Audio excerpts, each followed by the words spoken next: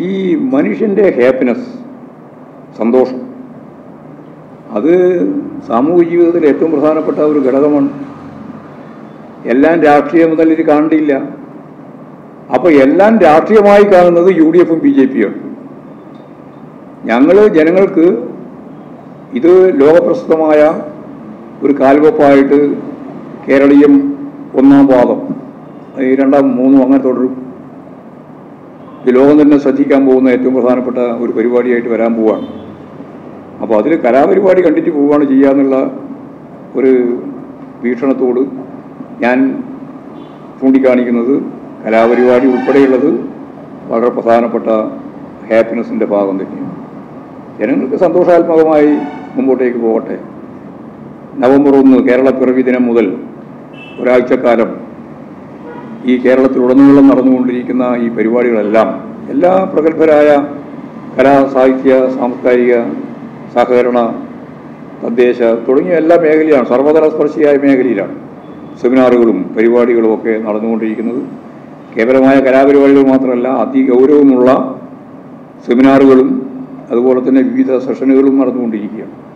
അപ്പോൾ അതൊക്കെ കേരളത്തിന് ഭാവി മുതൽക്കൂട്ടാണ്. മൂലധന നിക്ഷേപം എന്ന് പറയുമ്പോൾ കേവലം പണാധി പണത്തെ അടിസ്ഥാനപ്പെടുത്തിയുള്ള ഒരു മൂലധനം മാത്രമല്ല. നമുക്ക് ആ മൂലധനത്തെ പറ്റി അറിയുള്ളൂ. നമുക്ക് ആ ചെലവിനെ പറ്റി അറിയുള്ളൂ. അങ്ങനെയാണ് മാധ്യമങ്ങളെല്ലാം ഇപ്പോൾ കണക്ക് കൂട്ടുന്നത്. തൂർത്തിനെ പറ്റിയാണ് പറഞ്ഞുകൊണ്ടിരിക്കുന്നത്. ഇത് യഥാർത്ഥത്തിൽ ഒരു മൂലധന നിക്ഷേപമാണ്. ആ നിക്ഷേപത്തിന് തുടർകാലങ്ങളിൽ ഉൾപ്പെടെ ഇപ്പോഴും മാത്രമല്ല ഇപ്പോഴുണ്ട്. തുടർകാലങ്ങളിൽ ഉൾപ്പെടെ വലിയ രീതിയിൽ വമ്പിച്ച രീതിയിലുള്ള ഒരു തിരിച്ചുവരവ് തിരിച്ചുകിട്ടൽ ഇതിന്റെ ഭാഗമായിട്ടുണ്ടാവുമെന്ന് നമ്മൾ കാണും. അല്ലാണ്ട് ഇതിങ്ങനെ കുറെ പൈസ ചിലവാക്കിയിട്ടാണ്. അത് ആ ആ അർത്ഥത്തിലുള്ള വിശകലനം തന്നെ തെറ്റായ ഒരു വിശകലനമാണ്. അതിവിടെ ചില പ്രതിപക്ഷ നേതാക്കന്മാർ പറഞ്ഞത് അതേപോലെ തന്നെ ആവർത്തിച്ച് പറഞ്ഞുകൊണ്ടിരിക്കുകയാണ്. ഇത് ഉൽപ്പാദിപ്പിക്കുന്ന ജനകീയ മനസ്സുകളിലുണ്ടാകുന്ന മാറ്റം മാത്രമല്ല സാമ്പത്തിക മേഖലയിൽ ഉണ്ടാകുന്ന മാറ്റം ലക്ഷക്കണക്കിന് ആളുകൾക്ക് ഇതിന്റെ ഭാഗമായിട്ടുണ്ടാകുന്ന നേട്ടങ്ങൾ ഇതെല്ലാം നമുക്ക് ഇതിന്റെ ഭാഗമായിട്ട് കാണാം. മാത്രമല്ല ഇനി ലോകം ശ്രദ്ധിക്കുന്ന ഒരു പ്രധാനപ്പെട്ട ദിവസമായി നവംബർ ഒന്നാം തീയതി മുതൽ ഏഴാം തീയതി വരെ കേരളത്തെ സംബന്ധിച്ചിടത്തോളം മാറ്റാനും കഴിയും. ഒരു കലണ്ടർ വരികയാണ്.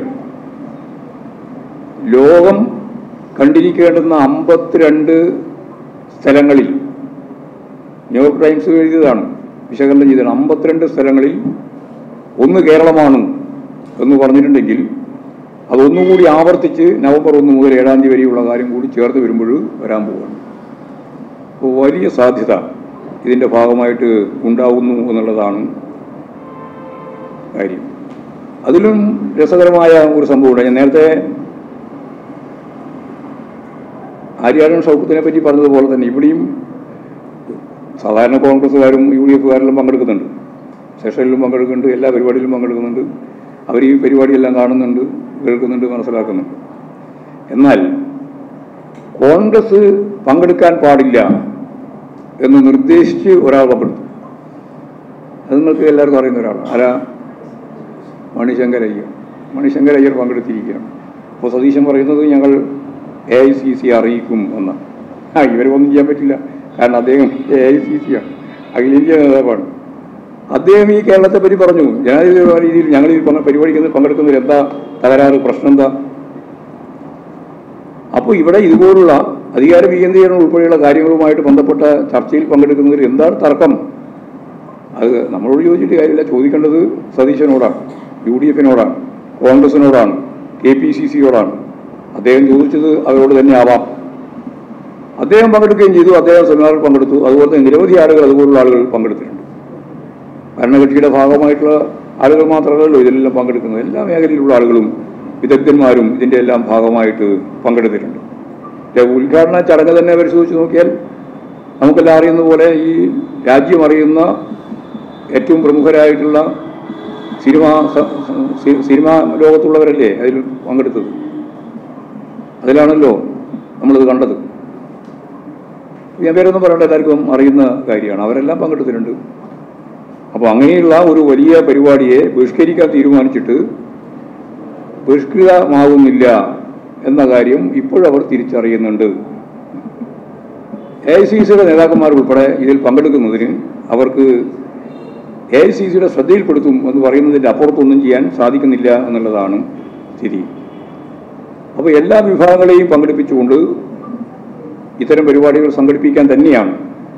ഇത് തന്നെയാണ് നവകേരള സദസ്സ് നവകേരള സദസ്സ് നടത്താൻ വേണ്ടി തീരുമാനിച്ചപ്പോൾ പറയേണ്ട താമസം. അപ്പോൾ യു ഡി എഫ് പറഞ്ഞു ഞങ്ങൾ ബഹിഷ്കരിക്കും. അവർ ബഹിഷ്കരിച്ചു.